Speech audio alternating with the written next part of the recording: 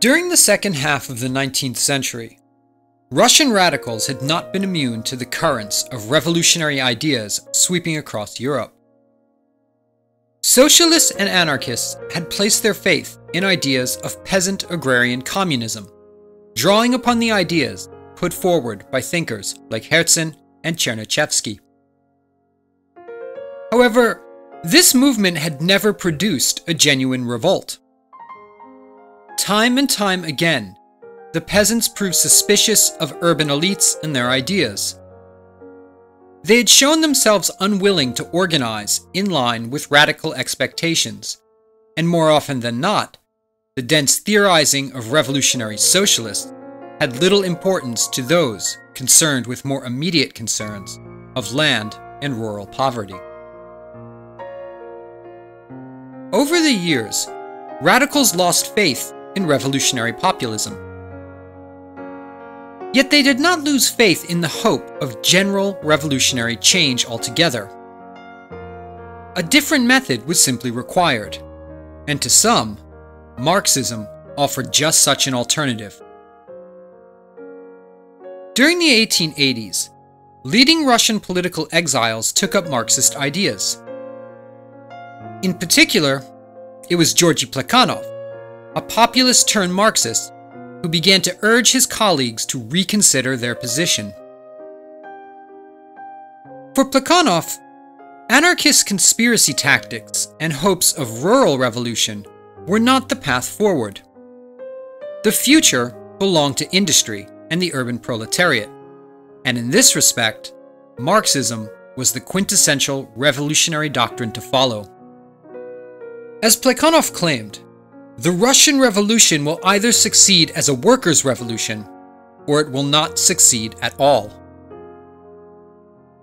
Plekhanov was the face of a small but dedicated Marxist faction, taking shape amongst Russian exile circles in the late 19th century. For all their confidence, however, Russian Marxists had to admit that Russia appeared an odd choice for a Marxist style proletarian revolution. Russia hardly fit the mold of a modern industrial society. It had no bourgeois class to speak of. The empire had only begun to modernize its economy and infrastructure.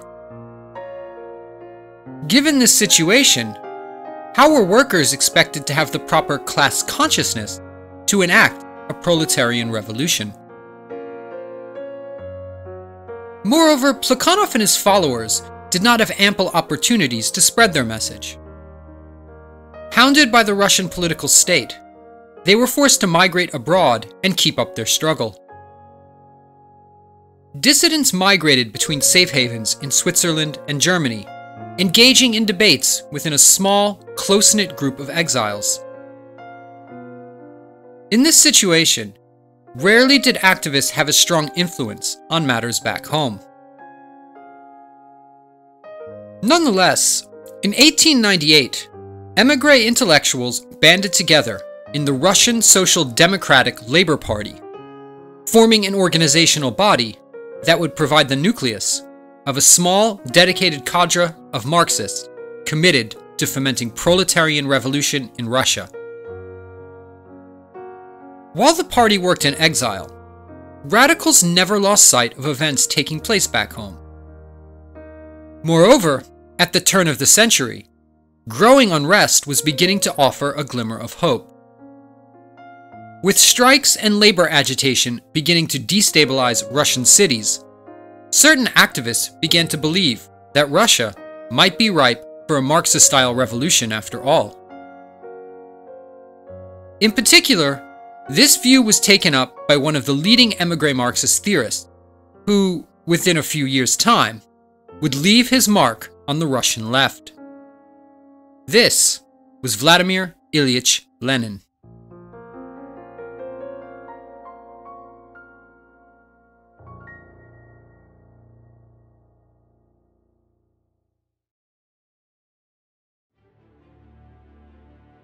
By all standards, Lenin was a political firebrand. He kept abreast of leftist movements across the continent and watched with dismay as socialists began to take up a reformist platform. In his estimation, reform held little promise for real political change. Only an active and radical revolutionary program could be expected to bring down the autocratic czarist system. While critical of reformist socialists, Lenin also had misgivings about the state of Russian radicalism as well. At the turn of the century, a new generation of Narodnik socialists and populists was growing up in Russia, and these so called socialist revolutionaries presented a challenge to Marxists. The SRs were making inroads among the peasants in the countryside, with promises of land reform and agrarian socialism. For Lenin, this reworked populism threatened to reduce the influence of the urban proletarian classes and undermine the appeal of Marxism itself. While thinkers like Plekhanov and Lenin shared certain ideals and possessed a common ideological basis, by the late 1890s, the Marxists had become divided along certain lines regarding questions of organization and strategy. With strikes breaking out in Russian cities, it began to seem that an independent workers' movement and party was growing up in Russia. These worker movements certainly shared desires for social change with political exiles, but they were by no means controlled by the Marxists per se. The question was how to respond to these developments, and this question became a crucial test of Marxist unity. In other words, what was to be done? And on this question, a variety of opinions came forth. Julius Martov, a close associate of Lenin, looked favorably upon the recent wave of strikes and worker activity in the country. As he saw it, worker organization clearly demonstrated that the Russian workers were becoming class conscious and aware of their common struggle against the bourgeoisie. This revelation held out the prospect of creating a mass political party based around Marxist principles capable of drawing workers together. In many ways, Martov was proposing a mass party similar to those of the socialists in France and Germany. With the support and participation of workers, Russian socialists could see through a social revolution in the country, putting an end to the czarist autocracy and the capitalist system that oppressed industrial labor. Lenin, however, presented a counterview. In 1902, he published a pamphlet entitled What is to be Done? In it, Lenin outlined a revolutionary program of action that was quite distinct from the one proposed by Martov. In his estimation, it was imperative to form a party composed of professional revolutionary, one that would effectively overthrow the state and guide the worker movement. Given these differences in outlook, it was evident that two competing visions of Marxism were emerging. In 1903, a series of congresses were held by the Russian Social Democrats in Brussels and London. These congresses were expected to unify the party platform and iron out the differences arising between radical activists. In actuality, however, these meetings proved to be counterproductive to this goal. At the Congress, Lenin outlined his course of action and laid down strict criteria for party membership. His policy was broadly one of democratic centralism, outlining a method of organization that assigned all decision making to the party leadership. Upon listening to Lenin's proposal, Martov and his followers became suspicious. They believed that Lenin sought to take complete control of the party and suppress all internal debate, effectively making his plan the only course of action. Yet when it came time to vote on which direction to take, it was Lenin's platform that passed by a slim majority. Henceforth, the Leninist camp assumed the title of Bolsheviki, or the majority. Those who supported Martov were deemed Mensheviki, or the minority, effectively splitting the party into two camps. Learning of this outcome, the Mensheviks were irate. In a private letter, Plekhanov readily compared Lenin to Robespierre. Other critics were not as reticent in their accusations. They compared the Bolsheviks to a Jacobin club and warned that if nothing was done, an impending radical dictatorship would be on the horizon. It helped that Lenin himself espoused the label affixed to him by his enemies.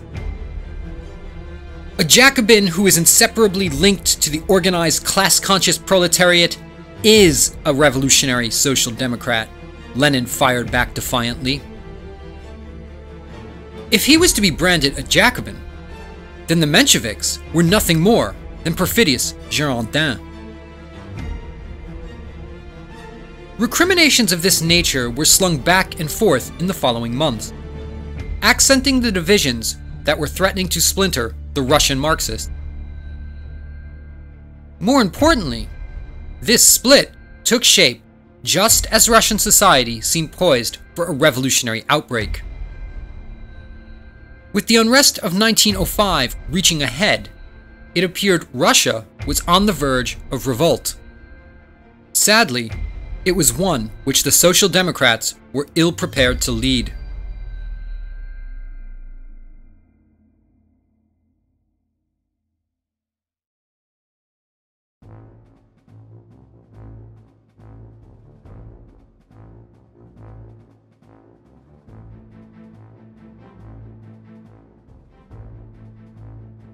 The events of 1905 had been met with enthusiasm by exiles abroad.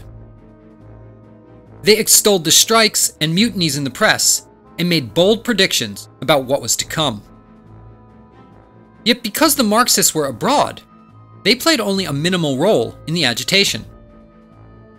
They had few means of influencing protesters or events on the ground.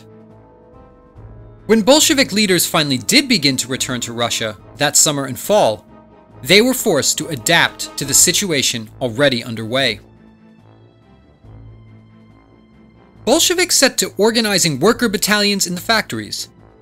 They participated in the worker councils or soviets that had grown up in the cities. They ran newspapers and attempted to win workers over to their Marxist agenda. Yet their influence paled in comparison to the independent worker unions and groups leading the protests. In October, the Bolsheviks were among the group who rejected the October Manifesto, urging protesters and workers to keep up the resistance. When the autocracy began clamping down on the opposition, leading Bolshevik organizers in Moscow reacted. That December, they took control of the Moscow Soviet and ordered workers to seize immediate power. In this call to arms, Bolshevik organizers declared a resolute and merciless war upon the aristocracy in the name of the revolutionary proletariat. Worker militias were quickly organized and armed. While the bands of armed workers could hardly be expected to seize the state, organizers expected that once this revolution was underway, soldiers would mutiny and workers would stage mass strikes in support of the uprising, giving it a chance. In reality, however, the insurrection quickly dissolved into a fiasco. The Bolsheviks had little experience in leading an insurrection or organizing troops. In total, the Moscow uprising lasted a mere week. By its conclusion, Tsarist forces managed to suppress the revolt and began rounding up and arresting the Bolshevik conspirators. Realizing that all was lost, Lenin fled to Switzerland. The Bolshevik bid for power had been an abysmal failure. However, If the radicals had lost out in 1905, they were not defeated. In exile, they licked their wounds and began to regroup. Lenin remained engaged in conspiratorial politics. He led an emigre opposition from abroad and participated in international socialist movements. He also continued to publish pamphlets and further elaborate his vision of communism as well. In fact, this period of exile was quite fruitful and marked a transformative period in Lenin's thinking. He began to reflect critically on the possibility of social revolution in Russia, and he began to turn his attention to the Paris Commune, presenting it as a potential model for action. The Commune, with its decentralized organizational structure and socialist ideals, appeared to resemble the worker Soviets that had taken shape in 1905. Yet the lessons from the Commune were equally valuable in Lenin's estimation. Smashing the bourgeois state, rather than simply appropriating it, ought to be the goal of revolutionaries, Lenin believed. This is precisely what the Communard of 1871 failed to do, and as a result, the Commune had ended in failure. If given the chance, Russian revolutionaries would not make the same mistake, Lenin insisted. In almost every way after 1905, Russian radicals were biding their time. They were waiting for the next moment of crisis and refining their strategies, and they would not have to wait long. As the new decade commenced, crisis seemed to loom everywhere.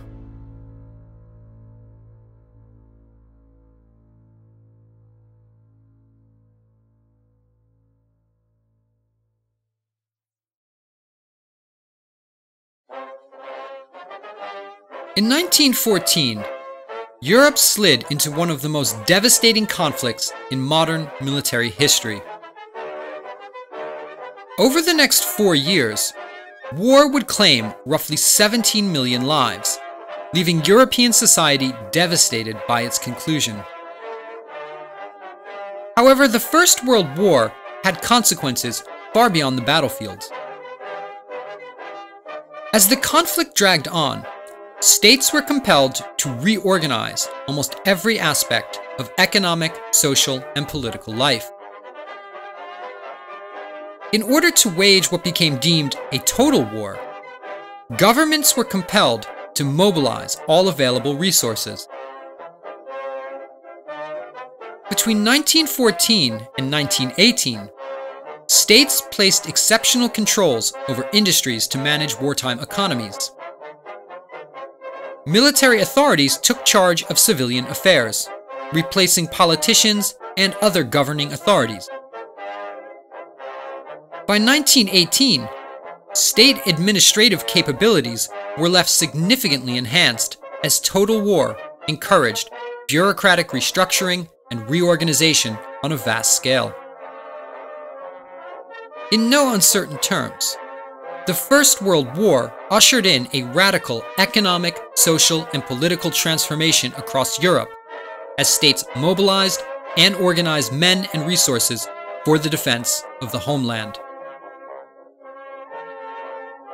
Between 1914 and 1918, societies became overtly militarized, and this created a new context and mindset that would have an impact on things to come.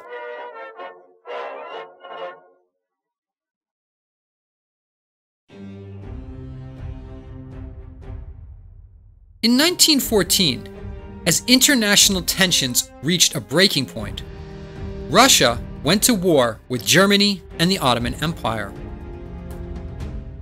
To say the least, the war effort went badly for Russia. The Russian army was ill equipped.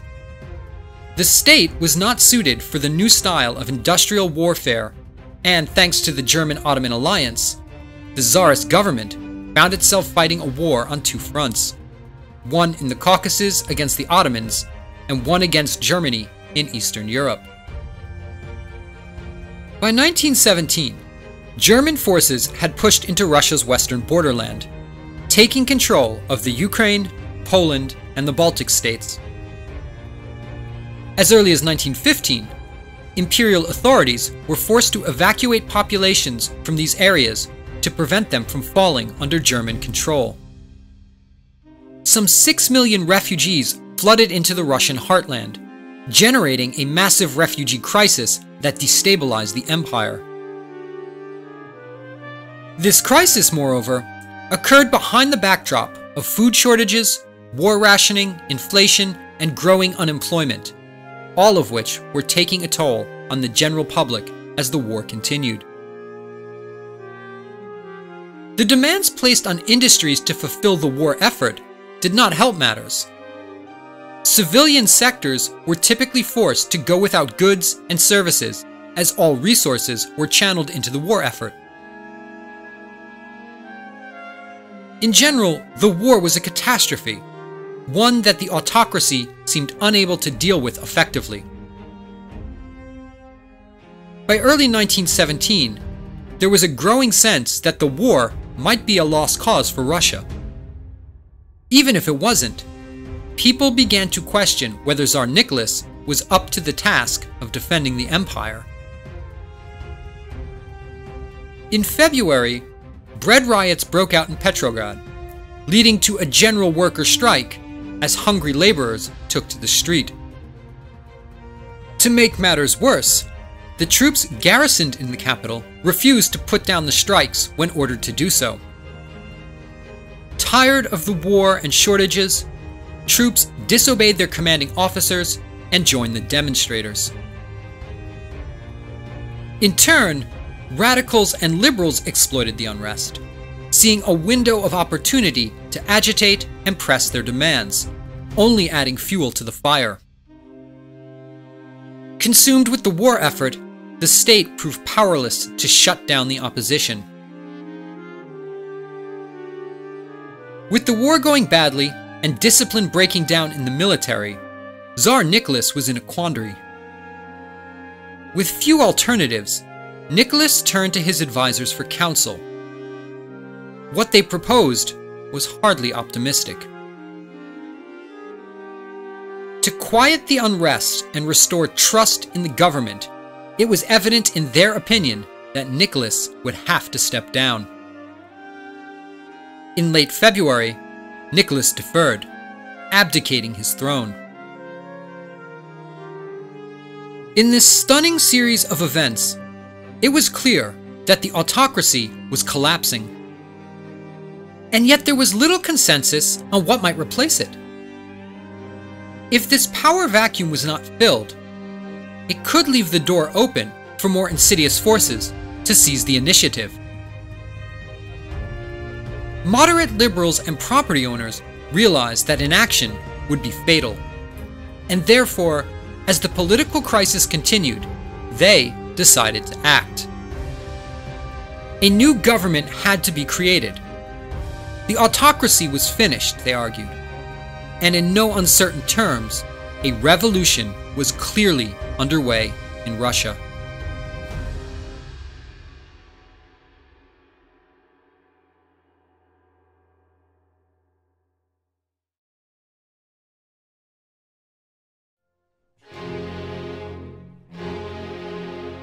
Although historians often speak of the Russian Revolution, the events that would take place in 1917 were in fact two revolutions. A constitutional liberal one carried out in February, which would be followed by a more radical one the following October. As the Tsarist regime buckled under the strain of war and protests that February, moderates and liberals found themselves in an unexpected position. They had to form a government, and they had to do it quickly. To this end, liberals and progressives banded together into a faction which took the name of the Cadets. Their strategy was straightforward. They wanted to gain a leading role in the creation of a new provisional government. What they did not want was to allow the protest movements to seize the initiative and push through a radical reform policy. Under the chairmanship of the age old liberal Prince Lvov, a provisional committee began quickly ushering through a series of reforms aimed at founding a new regime and winning popular support. The committee passed a string of legislation over the coming weeks that allowed for civic and political rights, universal suffrage, and a general amnesty for political exiles. Plans were made for a constituent assembly that would draw up a constitution and crown the Great Russian Revolution, as Lvov claimed. After years of paralysis, reform now assumed a rapid and dizzying pace. Yet it was primarily directed by political elites who had simply assumed power. Nobody had elected them to act, and this lack of a popular mandate left the legitimacy of the new provisional government in doubt until a constituent assembly could be elected. This situation was hardly ideal, but under the circumstances, liberals had few options at their disposal. For their part, workers and radicals took to organizing themselves. As liberals passed laws, those outside the new government began setting up Soviets. These councils were self-directed, they were intended to guide the strike movements, organize protests, set up citizens' militias, draft petitions, and serve as a voice for what was now being called the toiling masses. The Soviets were democratic organs and were hailed by supporters as the embodiment of revolutionary democracy. Each one was elected directly by members, and each tended to represent their own factory, town, and constituency. Even soldiers tired of military authority began setting up their own Soviets, calling for the democratization of the armed forces and an end to the war. By the autumn of 1917, some 900 Soviets had been set up throughout the empire, encompassing workers, soldiers, and peasants. While liberals looked askance at these overtly democratic and autonomous political councils taking shape, there was a larger question to consider. It was uncertain whether or not these Soviets would in fact support a moderate liberal government, generating a problem of how to respond to these forms of democratic organization. For starters, the newly created War Ministry had promised the Allies that Russia would continue the war effort. This was a very unpopular decision with workers and soldiers, who were now calling for peace, and the Soviets immediately let this be known. Evident in all of this was the fact that the February Revolution had produced two poles of power and legitimacy on one side was the provisional government that lacked a popular mandate, and on the other were the various Soviets claiming to represent the people. Dual power became one of the major challenges of the newborn revolution, and it was one that liberals were going to have to contend with if they intended to crown this Russian Revolution with a constitutional regime. In order to mollify popular demands, the cadets reasoned they would have to offer certain concessions to the worker parties in an effort to win them over. These concessions took the form of positions within the government ministry, inviting representatives of the left to join the provisional government. The Mensheviks and other radicals accepted the offer, they believed they could push for democratic reform from within the government as a minority party, steering the revolution in a more socialist direction. The Bolsheviks, however, flatly refused, insisting they could expect nothing from a bourgeois government. Hedging their bets, the Mensheviks accepted the liberal olive branch effectively dividing the left. In their speeches and writings, they encouraged workers to support the provisional government. Political participation would, Mensheviks insisted, give the left a newfound political leverage and show the error of Bolshevik intransigence. This assessment, however, would prove inaccurate. The government's attempt to reach out to the left had primarily been the work of Alexander Kerensky, a socialist revolutionary who had thrown his lot in with the provisional government.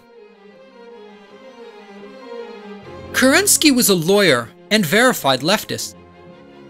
He was eloquent, pragmatic, and he possessed a flair for dramatic speechmaking. More importantly, he was popular with workers and the liberal minded intelligentsia alike.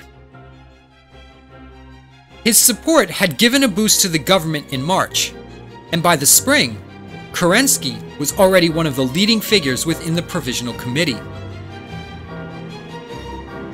Many hoped that Kerensky would prove to be a unifying figure, who could rally the nation around a new constitution and recast the floundering war effort as a patriotic and national cause. Yet even if Kerensky did seem a somewhat popular choice, his government faced an uphill battle when it came to workers and the left, and winning their support was not an easy task. However, it wasn't just the workers the state had to contend with. The February Revolution had also animated peasants in the countryside.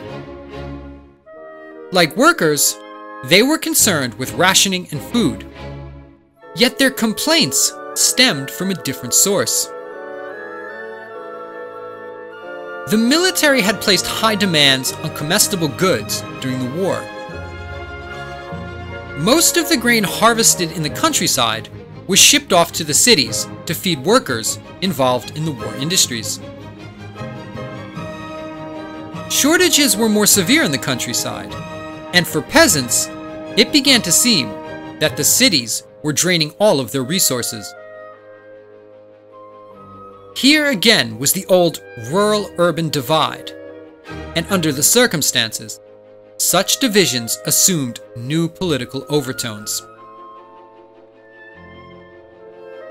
In addition to the problems generated by the war, peasants had their own demands.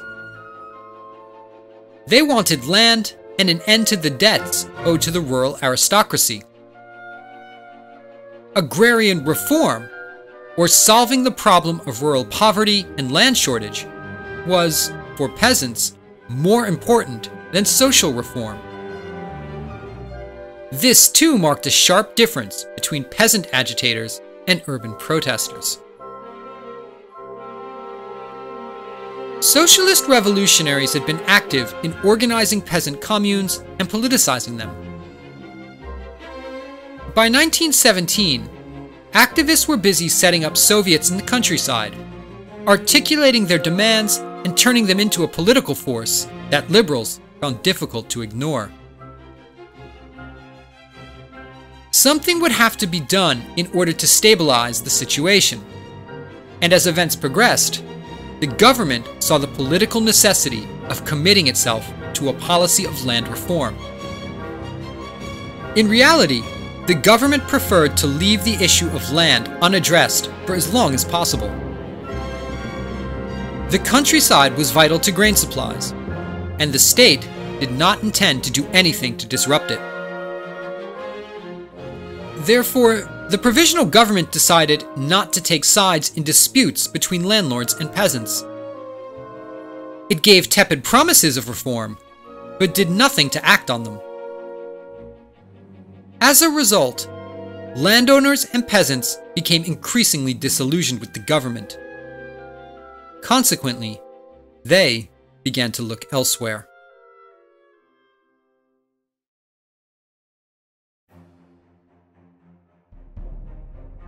By the late spring of 1917, it was clear that support for the government was clearly diminishing as events progressed. The Soviets prove reluctant to wholly endorse the liberals, indicating a strong mistrust for unelected political elites who might attempt to undermine the democratic activism underway. On the other side, failure to take a stance on the issue of land reform had only served to alienate peasants and the aristocracy. On top of these troubles, a political scandal arose that summer that placed Kerensky in a precarious situation. The scandal centered on one of Kerensky's key appointments, the conservative war minister Lavr Kornilov. As a military commander, Kornilov had supported staying in the war. To renege on Russia's wartime allies would not only be a disastrous embarrassment for the government, he believed, it would permanently blemish the government's reputation, holding it directly responsible for losing the war. Kornilov was also convinced that the worker Soviets posed a significant threat to the new government as well. If they were allowed to continue, they would certainly throw Russian society into a state of revolutionary anarchy.